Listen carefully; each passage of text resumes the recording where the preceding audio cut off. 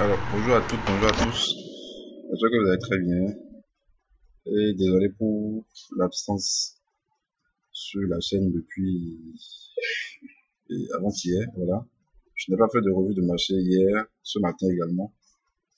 Donc, euh, je vais faire rapidement euh, le point de marché pour cet après-midi. Alors, nous allons juste faire 10 ou 8 minutes. Alors, je commence avec euh, l'euro USD, la paix euro USD.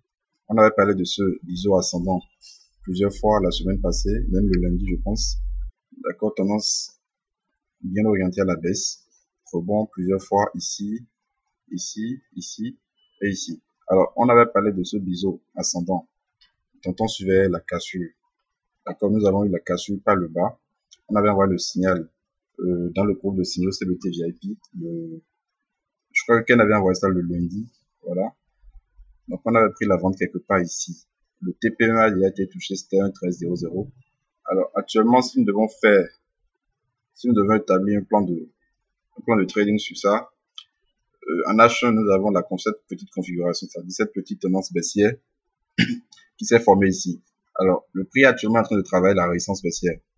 Nous avons ce support, c'est-à-dire le bout de la mèche ici, il est un 13,08, d'accord, qui est en train de jouer le rôle de résistance.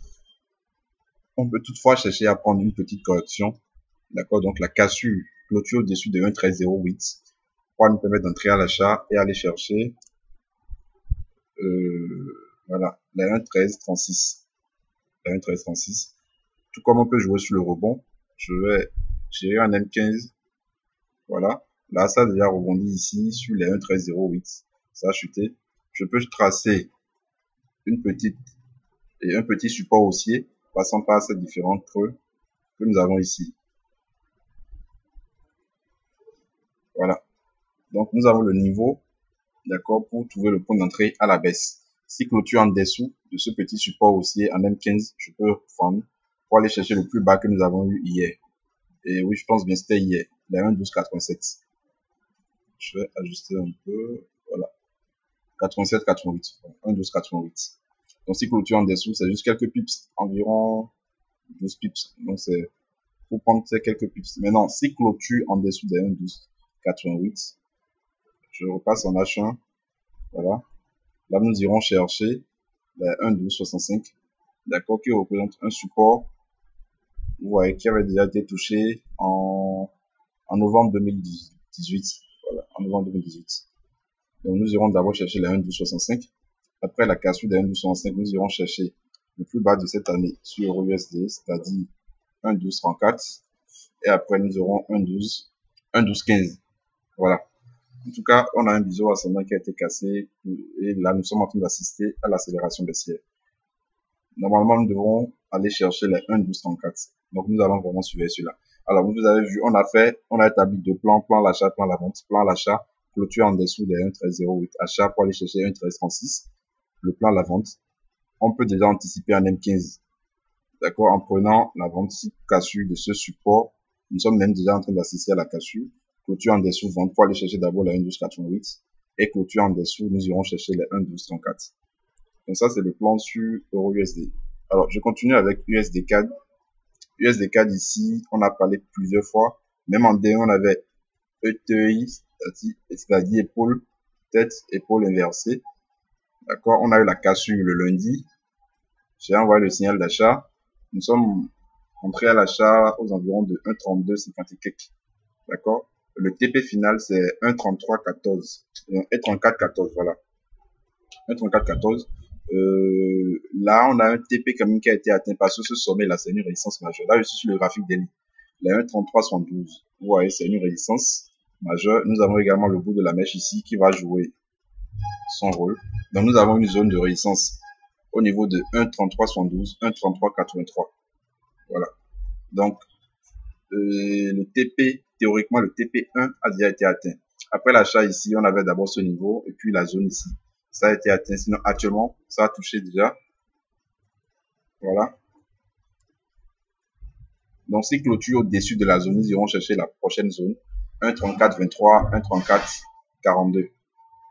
D'accord Et là, l'USDK est en train d'accélérer à la hausse. Je ne sais pas s'il y a des nouvelles sur le pétrole. Je vais pas regarder le calendrier aujourd'hui. Toutefois, le plan, de façon technique, le plan, c'est clôture au-dessus, achat pour 1,34,23. Maintenant, on peut également surveiller la clôture d'Eli. Si ça me laisse une longue mèche, on peut rentrer en vente. Parce que ça peut toutefois corriger. Ça ça peut revenir sur la résistance celle qui a été cassée. Ce qui a représenté la ligne de coût en D1. D'accord? Donc, on a deux scénarios. Nous allons voir la clôture pour, prendre la position. Je continue avec NZDUSD. J'ai envoyé le signal hier soit, non, dans l'après-midi, voilà, sur cassure de ce triangle symétrique. Nous avons vendu aux environs de 1,6780, je pense. Ça a touché le TP1, d'accord, le bout de la mèche ici, 1,6753. Normalement, 1,6750. On a eu un pullback. Le prix est en train de redescendre. Là, nous allons plutôt attendre la cassure de 1,6753.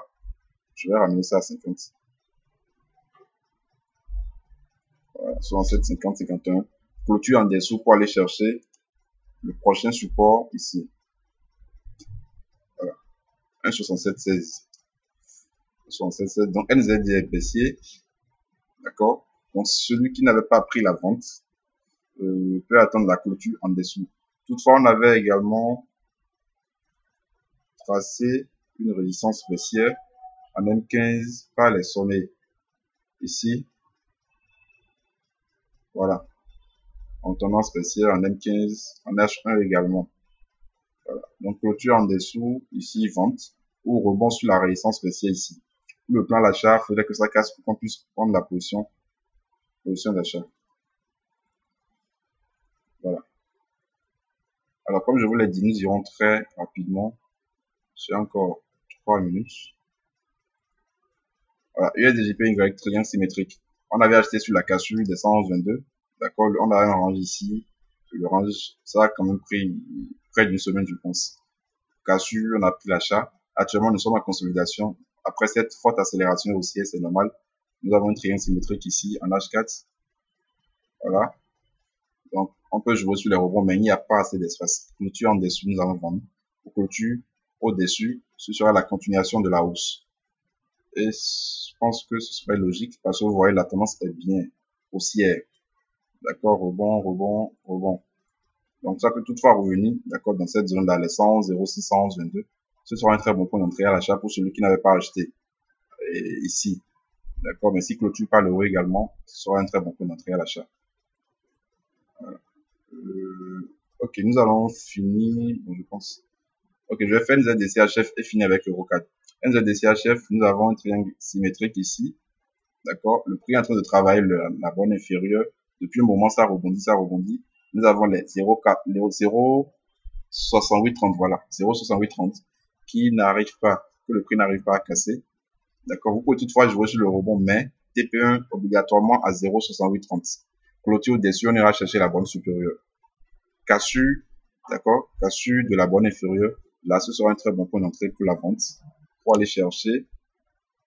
Euh, voilà, même si ça casse pas le bas, faudrait attendre la cassure des 0,6779. D'accord? À moins qu'on ait une cassure quelque part ici. Là, on peut vendre pour chercher les 0,6779. Mais si ça casse en même temps, attendre cassure 0,6779 pour aller chercher le bout de la mèche ici, 0,6762.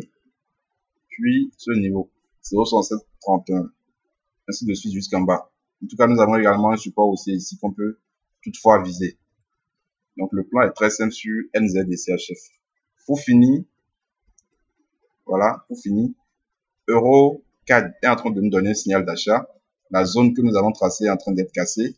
D'accord? Clôture H4 à 15 heures. Si clôture au-dessus de la zone 1,51,14, 1,51,23, clôture au-dessus, là, nous pouvons prendre l'achat pour aller chercher voilà, les 1,51,81 avec un stop loss légèrement sous ce creux là.